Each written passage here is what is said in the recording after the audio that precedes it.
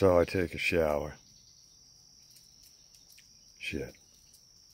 Shave. Shampoo. That already kicks a big hole in the time fog.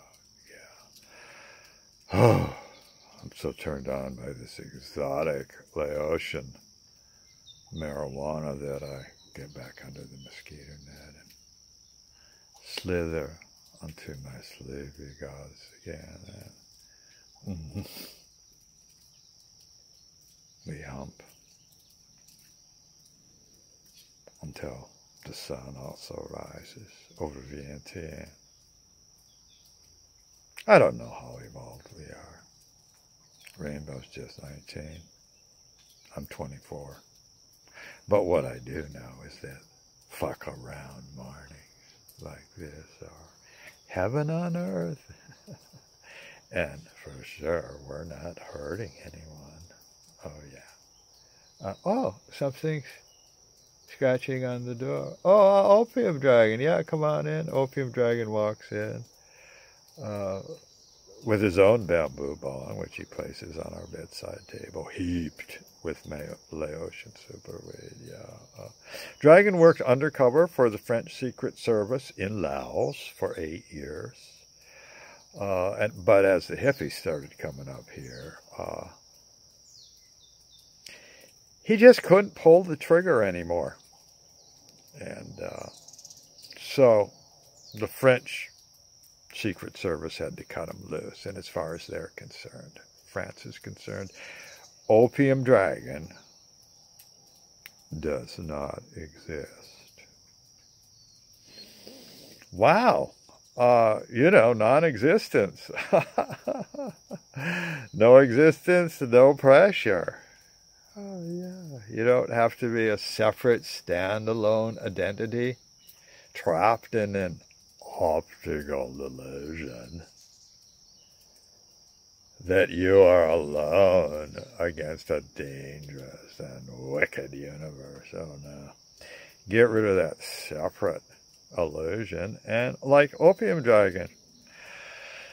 Uh, Relax and enjoy all the fantastic life around you. Why? Because it is you. Yeah. Well, uh, we blow the morning away. Mm-hmm. Swapping travel stories because we're young, free, exotic explorers, and we've got tales to tell. A favorite pastime of ours. So, uh, Opium Dragon tells us about uh, wandering north of the Mekong River. And we're just north of the Mekong right now. so, uh, yeah, Golden Triangle. Mm-hmm. He wanders into the remote areas where you can only get to by boat. For example, I was just up in Luang Prabang in the far north of Laos. Uh, and from there, you take a minivan, about four hours to Nong Khiaw, and then the only way to go further is to get into a longboat, a skinny glorified extended canoe with a small motor off the back and get up to those hill tribes. Fantastic. They live off the country land. Uh, the hunters hunt with century-old single-shot rifles to capture animals, birds. And, but, I mean, Opium Dragon, his ace in his hand is that he speaks Lao with a local accent. So uh, the villagers welcome him, kind of like a charismatic sadhu would be welcomed into a village in India. Yeah, wandering from tribe to tribe, straight into the opium hut. uh, unrelenting wilderness uh, beyond Vientiane. Pure free people. Mm-hmm. Well, oops, uh, the uh, Pathet Lao, the enemy of the Americans and France, but not to Opium Dragon. They capture him. Uh, they just, they just capture him so he'll tell them stories around the campfires at night. Hey, It's not that much fun being a soldier. One of these freaks gone native to hang out with, and look, he's packing the finest opium pipe in the Golden Triangle. What am I trying to say? Uh, thank you, opium. Uh, is that earth freaks go where armies fear to tread. The, the hippies in the next bungalow uh, are headed for Luang Prabang that is totally surrounded by communists, indoctrinated humans that want to kill them. Uh, they're hitchhiking. Sure. And they'll make it. I mean, we hippies are doing boat trips up and down the Mekong River all the time. I mean, we don't care.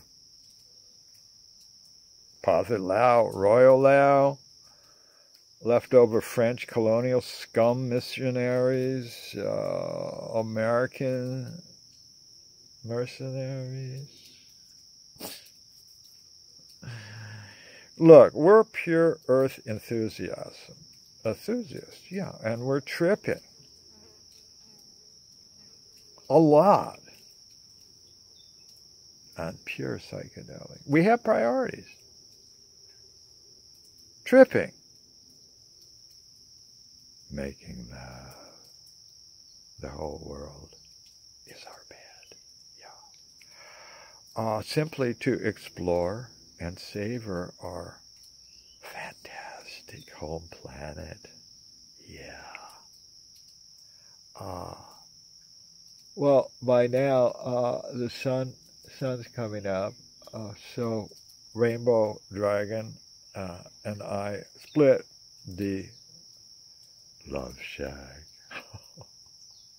for a former French cafe. I mean, the French got their asses wasted and kicked out of the country. Threw a few crumbs for the Americans to try to recolonize the Asians. Didn't work out, did it? uh, yeah, but fortunately they left their baguettes behind. Long, skinny loaves of French bread, baguettes and a few French goodies. So, uh, yeah, uh, give us a baguette.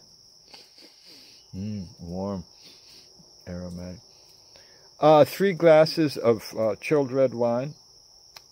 Riverfish, give us a, a large uh, fresh caught Mekong river fish. Yeah, whole fish. The whole fish and uh, a beautiful salad, you know, salade française and of course, a loaf of that mysterious French bread. Baguette.